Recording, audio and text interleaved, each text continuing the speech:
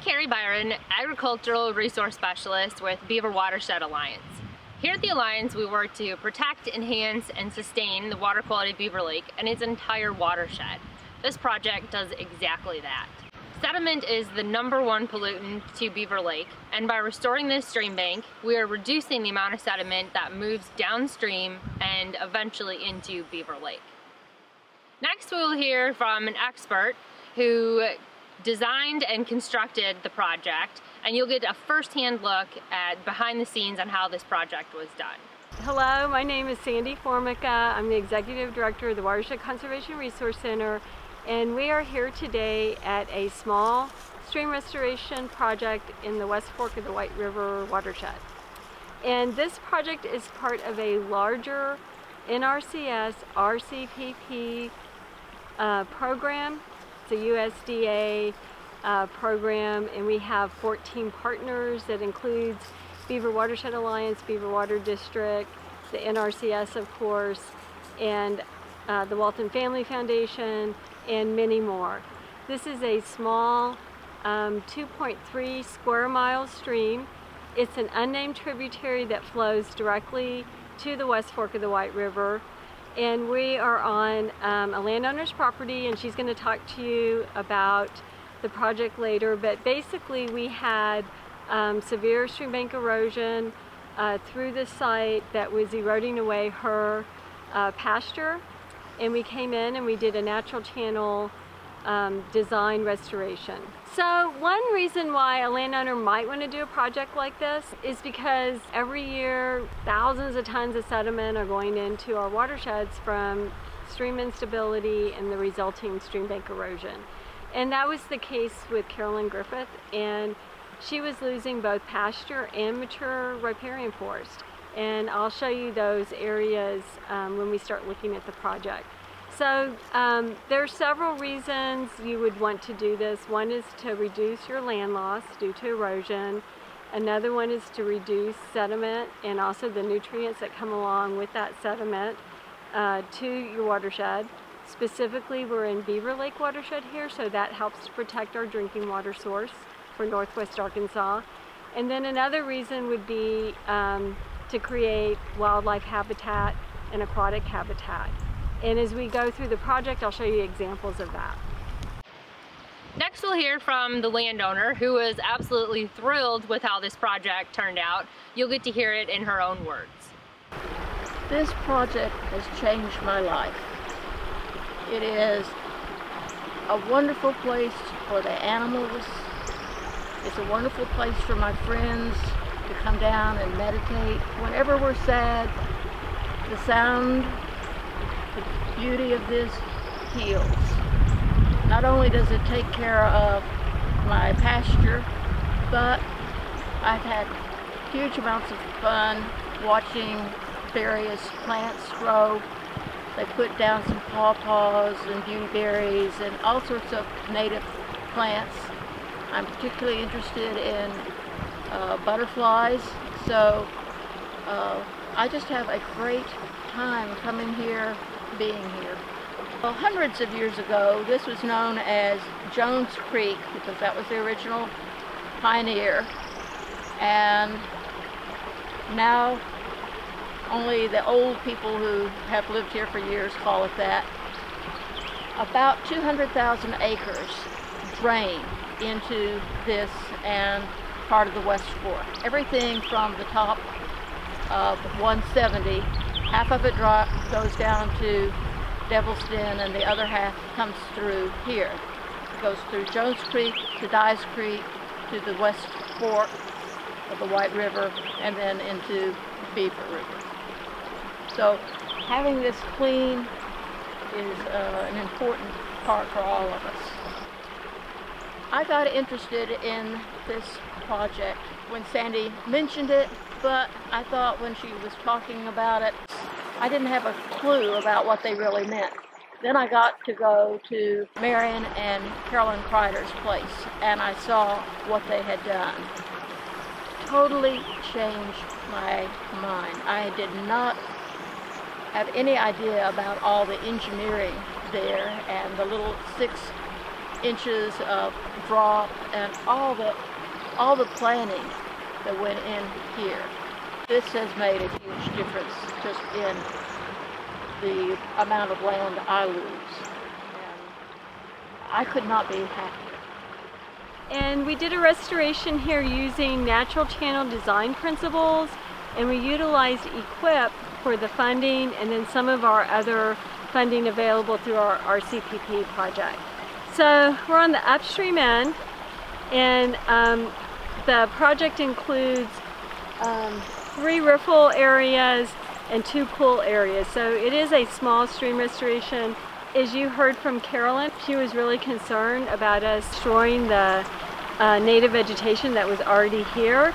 And so we were careful to minimize how much excavation we did. So for that reason, we do have sort of a toe wood rock toe combo um, bench that we created in the woods here because we're so incised and detached from the floodplain we went ahead and put two layers of rock and then we have a bio block here that creates a soil mattress all the way through here where we could plant native vegetation. And um, you can see we planted vegetation between the rocks. We got um, silky dogwood witch hazel.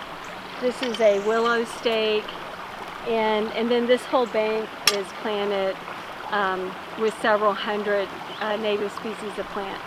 Also put out native seed and wildflower. If you're wondering what this grass is, um, it's what we put on all of our projects initially to get some kind of cover to help reduce that initial, uh, those initial floods that come through the erosion. And this is just a nursery crop grass. In this case, it was winter wheat. In the summer, you might um, use um, millet um, or oats. And this pool goes to a grade control structure and we'll go down there and look at that.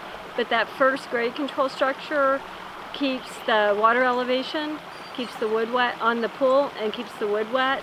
And we made this about a little over half a foot deeper than it was um, before we did any work here to create more habitat for the fisheries. And then um, upstream of here, we rebuilt the riffle uh, that comes into the uh, pool. So behind me is three grade control structures and anytime you're doing a stream restoration project you need to think about how the water is going to flow through the project based on the elevation of the channel.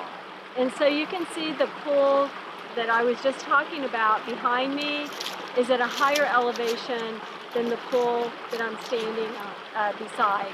And those three uh, structures in between the two pools is how we drop the elevation down in a way that's going to remain stable through a big flood. And um, you might be like, well, why didn't you save money and just build one structure? And the reason why we didn't is you want to ensure that you have fish passage through your riffles and where you do have your grade control. So um, we estimated about a half a foot drop. Obviously we've got one more, uh, we've got one drop higher than two of the other ones and that, that's fine too. Um, in nature there's usually a lot of variability.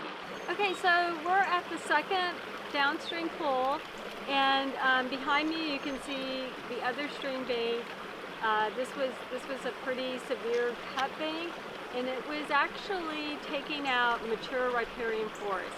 A lot of times we use um, tow, a TOA design for this type of restoration, but you need at least 25 feet.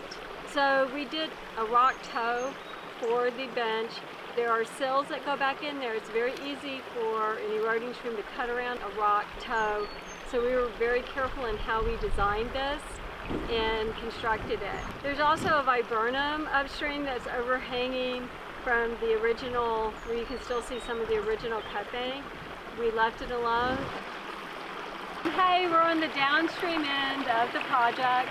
And as you can see behind me, the, the, the pool elevation, we had to use three structures to drop it down. You can see this elevation is lower. So you can see two of the structures, there's another one in the foreground. We made that pool elevation about a foot higher than what was here previously, and that was in hopes of um, keeping the water here all year round through the summer, and, um, and to improve the fish habitat. And the, that, that first structure keeps the water um, elevation, it sets the water elevation.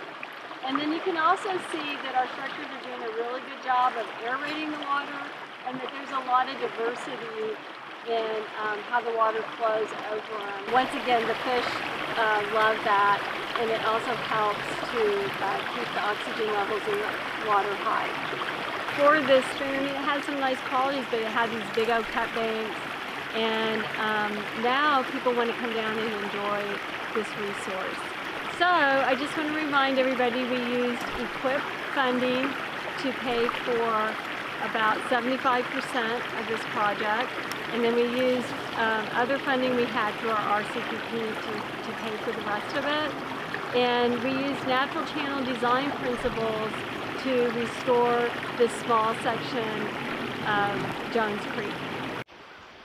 Beaver Watershed Alliance works directly with landowners to address their erosion and stormwater management concerns, help those who want to become better stewards of their land, and work with farmers to increase the productivity of their property.